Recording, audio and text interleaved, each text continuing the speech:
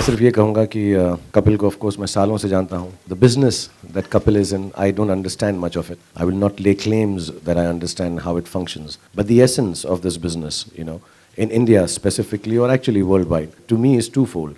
One, extremely personal, like I said. मेरी भी जो बिगिनिंग्स हैं हम्बली हैं हम सब की बिगिनिंग्स एक ही जैसी हैं तकरीबन तकरीबन हम कहीं पर भी सिल्वर स्पून के साथ इंडिया में बहुत कम लोग पैदा होते हैं जो मेरी सबसे बड़ी चाहत थी ज़िंदगी के अंदर वो यही थी। हम जब छोटे थे, घर में कुड़की आई थी, यहाँ पे लोगों को शायद मालूम भी ना हो, मुंबई में कुड़की का मतलब क्या होता है? नॉर्थ में कुड़की को बोलते हैं जब घर से निकाल दिया जाता है। अड़तालीस घंटे हम सड़क पे रहे। उसके बाद ऑफ़ कोर्स हमारी माँ जब घर वापस आई तो जिन्होंने हमको निकाला था, हमारी माँ ने उनको बाहर निकाल दिया और उस घर में डाल दिया हमको वापस। But that was in permanent उसके बाद हम एक किराए वाले घर में गए।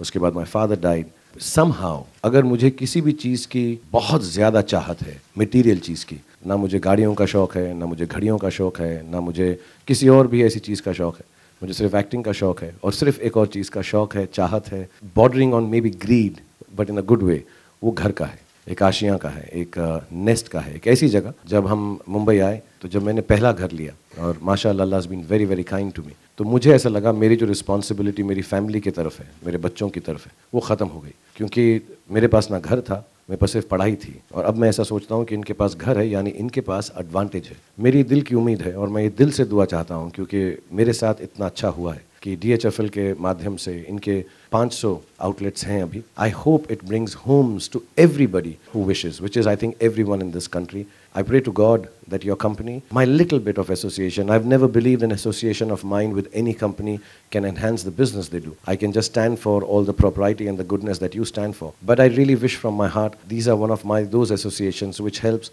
most of the Indians to get a house because Allah has been kind to me and given me the house of my dreams and I hope everyone in this country gets a house even though it might be a business for me and a business for you. Indirectly, directly, we are going to give lots of ashiyas to a lot of people and uh, make their dreams come true. So thank you very much for giving this opportunity. God bless you, man. Thank you.